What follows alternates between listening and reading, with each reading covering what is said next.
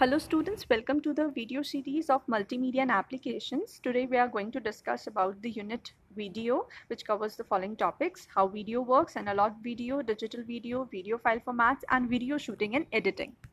Let us start with a very basic introduction of what video is. So basically when the images are to be played in a sequence uh, so as to create a feel of motion or movement then our video is formed. Now, in order to make our uh, video digitalized or in order to make our uh, in order to make a digital video, we need to convert it in the digital form. So basically we do know that video exists in nature in analog form and we do need to convert it in the same way we used to convert the sound like we used to capture the sound signals which are analog in nature and then uh, those sampled uh, uh, signals are to be converted into the electrical forms and then electric those electrical signals are then converted with the form uh, with the help of quantization into the digital format. So in the same way uh, the video signals too are converted like the light which is analog in nature is to be captured and uh, sampled in the form of electrical uh, signals and then those particular electrical signals are then converted into digital form. So this is uh, what video is. Basic uh, technology in which we capture and uh, we can capture, we can store, we can transmit and we can reproduce the images and motion pictures. Now we do know that natural video is composed of multiple objects and they do have different sort of characteristics like any of the object might be having a particular shape or a, a certain depth its texture might be a different it can be a, in the liquid form it can be in the solid form it can be uh, bulgy or any sort of uh, different sort of uh, texture it can have. And illumination uh, how much light does it reflect or not at all. So different sort of characteristics an object can have. And so those particular characteristics uh, characteristics too must be captured in order to uh, make the video realistic. Then video information travel in nature in the form of light waves or analog waves and so must be converted into electrical signals using transducer like video camera. So basically the converter would be a device which is called which is also called transducer and an example of a transducer is the video camera uh, through which we can convert those light waves into the electrical signals. Now how video works basically. So we do know that any of the object is, uh, if uh, there is any of the object in nature that exists in nature it do reflects the light. जैसे हम पहले भी एक बार image में भी ये concept पढ़ रहे थे कि कोई भी एक ऑब्जेक्ट होता है तो वो लाइट को रिफ्लेक्ट करता है और उसी की वजह से we are able to see that particular object in the same way when that particular object reflect the light then that light is is to be captured by the lens of the camera then that particular lens have a particular sensor which converts that particular light wave into the electrical form or into the electrical signals. So basically that particular sensor here would be charged coupled device which is called CCD which is placed in all the cameras in order to convert the signals into electrical form. Now the better the quality of the CCD there would be the better the video quality would be there. So uh, three CCDs uh, are to be placed in the better quality cameras uh, for different colors like for red uh, each for different colors like for the separately for red, green and blue colors. Now there are several video standards for managing CCD output, each dealing with amount of separation between the components of the signal. The more the separation of the color information found in the signal, the higher the quality of the image. So, जितने भी different तरीके से हम capture कर पाएंगे uh, particular uh, colors को उतना ही ज़्यादा बेटर हम अपनी वीडियो को या इन्फॉर्मेशन को अच्छे बेटर क्वालिटी में रिप्रेजेंट कर सकते हैं। बेसिकली जैसे इमेज में ही हम कर पाते थे। Now if we talk about the analogue video तो हमें पता है कि नेचर में किस तरीके से एग्जिस्ट करता है हमारा video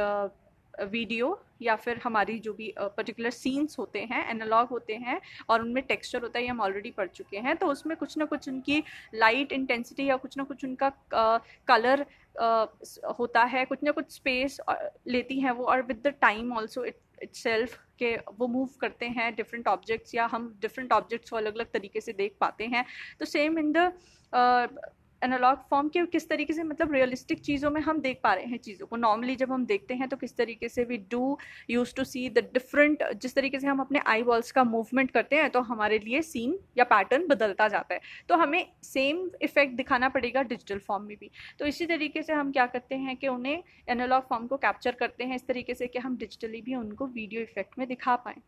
Now images from the environment have to be converted to electrical signal. This we have discussed and uh, sensors की help से हम करते हैं। फिर वीडियो स्टैंडर्ड स्टैंडर्ड हमारे पास थ्री एलिमेंट्स होते हैं वीडियो में। एक तो ल्यूमिनेंस क्रोमिनेंस और एक synchronisation so basically luminance is the brightness कि कितना वो पर्टिकुलर पिक्सल ब्राइटनेस शो करेगा। फिर क्रोमिनेंस कलर कितना कलर uh, इन्फॉर्मेशन आ जाता है hue which is the dominant colour यानी कि जिस कलर का वो एक्चुअल में ऑब्जेक्ट होगा saturation is the colour intensity कितना वो कलर रिफ्लेक्ट हो पा रहा है। Then comes synchronization. It is a series of electronic pulses that are controlled with the time of each frame of video information. Basically, every time a line is scanned. तो जितनी बार भी हमारा जो monitor पे जो लाइन स्कैन होती है basically जितनी, कितने टाइम के साथ वो कितना कलर या कितनी इन्फॉर्मेशन वो दे रहे हैं, कितने इलेक्ट्रॉनिक पल्सेस हमारे क्या क्या इन्फॉर्मेशन दे रहे हैं तो इस तरीके से सिंक्रोनाइजेशन बिठाया जाता है with the screen with the electronical with the help of electronical signals that we receive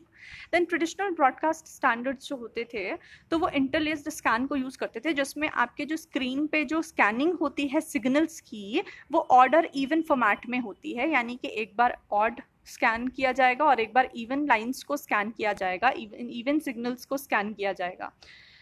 फिर हमारे पास आ जाता है कि किस तरीके से अगर हम सिंप्लीफाई uh, करें ट्रांसमिशन टेक्निक्स को तो हम ये देखेंगे कि तीनों कलर के लिए अलग अलग जो हम सिग्नल्स को यूज़ करते हैं रेड ग्रीन और ब्लू कलर को तो उनको अगर हम एक कंपोज कर दें या इंटीग्रेट कर दें एक ही सिंगल केबल में तो हमारी एक कंपोजिट वीडियो फॉर्म हो जाती है। तो कंपोजिट वीडियो में जो हमारा कलर और ल्यूमिनेंस होता है, उनको मिक्स कर देते हैं एक ही पर्टिकुलर केबल के केबल में। फिर कंपोजिट वीडियो हमारे बहुत सारे बेसिस के होते हैं एनालॉग वीडियो टेक्नोलॉजी के। और बेसिकली थ्री हमारे पास जो मेन कंपोजिट वीडियो की स्टैंडर्ड हो गए वो N T S C PAL और सी कैम हो गए जो ब्रॉडकास्टिंग और टीवी स्टैंडर्ड्स हैं। देन डिजिटल वीडियो की अगर हम बात करें तो uh, जैसे कि हमने देखा कि हमें कन्वर्ट करना पड़ेगा एनालॉग फॉर्म को डिजिटल फॉर्म में अगर हमें उसे कंप्यूटर्स या फिर टीवी के लिए यूज़ करना है तो बेसिकली उसके लिए हम ट्रांसड्यूसर्स यूज़ करते हैं जैसे हमने देखा था C C D is to be use अब उसके बाद हमारे जो डिजिटल uh, वीडियो होगा उसमें वही के सैम्पलिंग की जाती है यानी कि वो जो वेव्स आएँगी उसको हम सैंपल करेंगे। किस पर्टिकुलर पॉइंट ऑफ़ टाइम पे हमने उस पर्टिकुलर इमेज को कैप्चर किया और फिर मोशन इफ़ेक्ट दिखाने के लिए अलग अलग टाइम में हम कैप्चर कर रहे हैं बेसिकली इमेज को। तो वही अलग अलग इमेजेस को हम पॉइंट ऑफ़ टाइम पे जो हमारे मूव कर रही हैं इफ़ेक्ट शो करेंगी मूवमेंट का। अब डिजिटल वीडियो को भी हम किस तरीके से ऑप्टेन कर सकते हैं? एक तो सैंपल करके एनालॉग वीडियो सिग्नल को और एक three space time density distribution यानी कि किस तरीके का वो बेसिकली टेक्सचर फॉर्म हो रहा है वहाँ पे वो इफ़ेक्ट दिखाने के लिए कि अलग अलग टाइम पे और अलग जगह पर अलग अलग मोशन में ये हैपन हुआ है that basically the effect has been happen at different interval of time ये शो करने के लिए we do capture it in a different time फिर अगर हम बात करें तो हमारी जो डिजिटल मोशन वीडियो होती है, वो किस तरीके से डिकम्पोज होती है पहले हम बात करेंगे भाई हमारी जो स्क्रीन होगी, वो तो पिक्सल की पिक्सल से फॉर्म होती है, ये हमने देखा था। और फिर हम उसी उन पिक्सल्स के कॉम्बिनेशन से ब्लॉक्स रेडी करते हैं, फिर डिफरेंट ब्लॉक्स हमारे फ्रेम क्रिएट करते हैं। एक फ्रेम हमारा क्रिएट होने के बाद फिर हम डिफरेंट फ्रेम्स को, यानी फ़ोटोज़ हो गई बेसिकली एक पूरी पिक्चर हमारा फ्रेम हो गया और डिफरेंट फ्रेम्स को मिला के हम एक क्लिप को रेडी करते हैं जो छोटी शॉर्ट फ़िल्म हो गई और फिर फ़िल्म एक क्रिएट होती है बेसिकली जिसे हम पूरा एक वीडियो